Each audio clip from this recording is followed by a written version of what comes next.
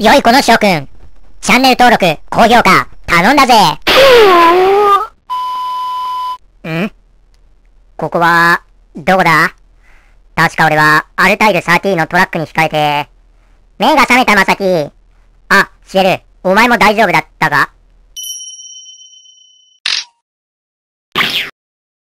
よくぞ引き抜いた勇者まさきよ。お前は伝説の剣か何かか？なあシエル、ここって一体どこなんだ？タイトルからして異世界。判断材料そこかい。僕たちあのトラックに行かれて転生しちゃったんだよ。でも引かれたのって俺だけじゃなかったか？いや、僕がまさきを助けようとしたら、僕も一緒に引かれちゃったんだよ。巻き込まれとったんかい。でもここ、本当に異世界なのかな？にしては人が見当たらないぞ。なんだいやいやいやいやいやおや魔王軍の悪いなだ？すっげえ安直なネーミング。プリキュアかなんかの敵キャラにいそう。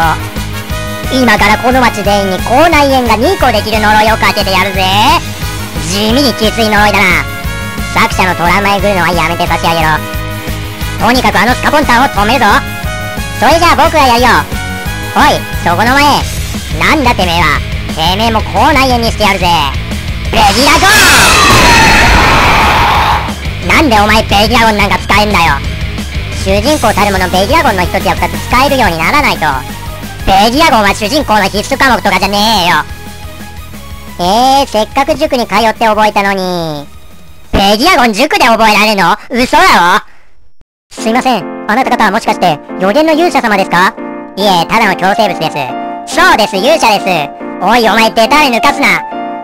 悪の魔王を倒せるのは、きっとあなた方だ。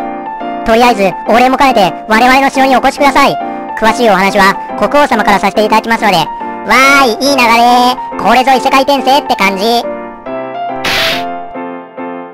僕は、うさぎの子供です。いつも、ゾウさんを食べてるよ。まずいです。じゃあね、バイバイ。元気でね、バイバイ。